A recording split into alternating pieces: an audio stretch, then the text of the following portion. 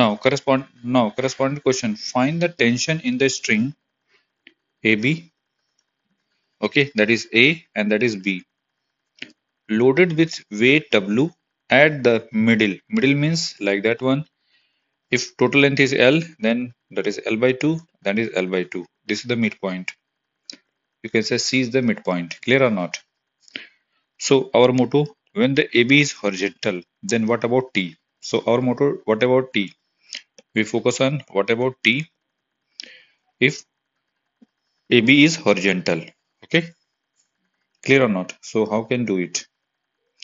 So first of all clear or not what is our motto? So make free body diagram of okay this block okay now. So if this one is t both string are same so tension generated this string is same so that's why tension is same okay?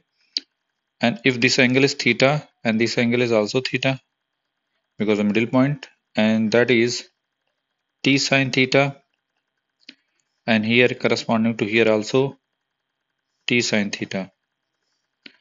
So basically you can say that that is 2t sine theta okay. 2t sine theta. Or better to write. That is 2t sine theta. And in this direction t cos theta and here t cos theta. Okay. Now whole system is balanced. So t cos t sine theta t sine theta this be equal to 2t sine theta this be equal to w. So you can say that t this be equal to w upon 2t sine theta. According to question when AB is horizontal horizontal means theta this be equal to 0 degree. Clear? If theta this be equal to 0 then then sine theta this be equal to also 0 okay so put here then we got w upon 2 into 0 that is w by 0 and that is infinitive.